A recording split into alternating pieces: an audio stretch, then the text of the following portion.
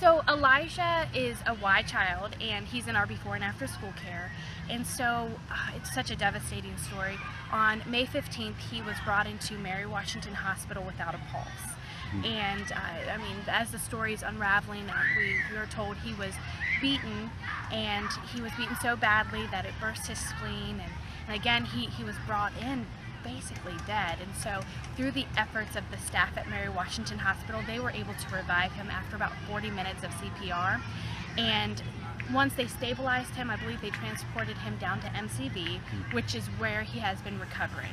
I mean, it's something that you, it just uh, doesn't let you sleep at night. I mean, it's absolutely devastating. Uh, so, such a young child probably feeling so helpless, and and it's just the thought of it makes me quiver.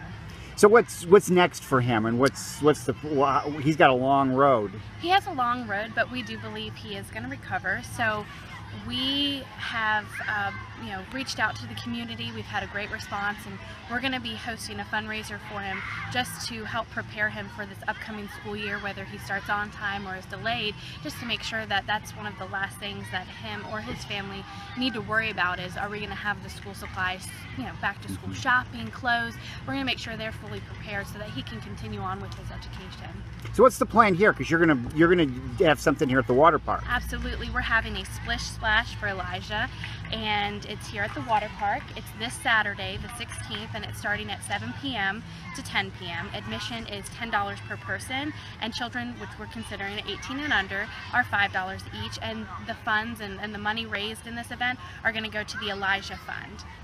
What, what, a great chance for people Oh to not only see the water park, but to help a family. But to help a family, absolutely. And just to show him, because what he did was show us how courageous he was and how strong he was. And now it's our time to stand up with him and let him know he's not alone and really be there for this child. And so um, we're going to have some video clips of it and hopefully send all the pictures and all of this over to him to let him know that we were all here for him. We're going to have some hula hoop contests and, and then we're going to, when it does start to get dark a little bit, we're going to have some glow sticks and light the night for him.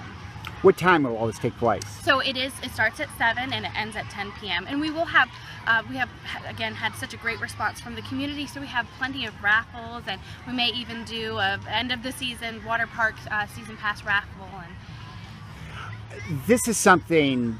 This is something that the Y does. This is something Oh. that you're just passionate about, Yes. about helping families in the community with a need. absolutely, this is part of the ATT program. And and when they, when the PTA staff at his school came to us and asked us if we could help, it was right up our alley. We said absolutely. And I mean, he was a Y child, and and he, you know, I don't really know who he has being his advocate, and I want to let him know not only is the Y his advocate and here for him, but our community is, and we can help raise awareness of child abuse and and stop this here, and and not let an- another incident like this happen again.